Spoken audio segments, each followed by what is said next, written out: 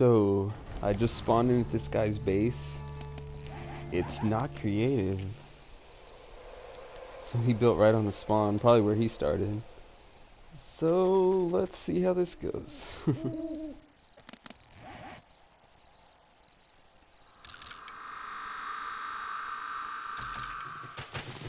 so I'm just out now, right outside of his base, trying to gather up some resources, I guess. I need to make some frames or stone axe or something, but either way, I'm getting in his base.